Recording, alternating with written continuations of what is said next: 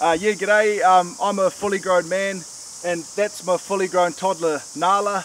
And we've been asked by the team at Ford to do a car review on their brand new Ford Everest Sport. Uh, car reviews are kind of like a new thing for us, but sure it can't be that hard, you know, like wheels and this thing. Anyway, right. Action. Cue the review. Not just one wheel, there's four wheels. Yeah. Yeah. Flippy!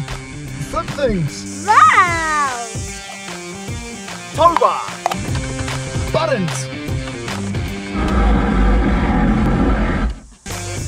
New grill. A dash cam USB port. Up and down windows.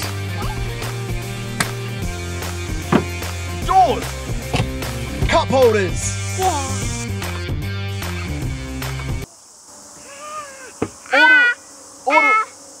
Automatic tailgate thing. Bi-turbo power. Can you go? Music.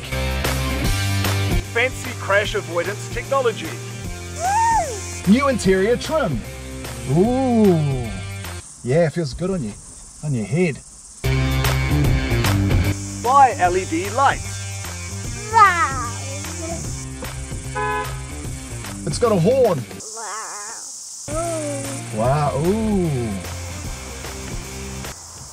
And, and finally, window wipers.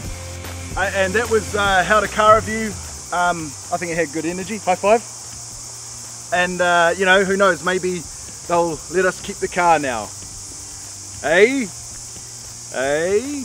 Do you know how to wink? Hey, are you winking? Go wink. Hey. Yeah, but no, but I was asking, like, where's my cup? No, but now you don't have a cup.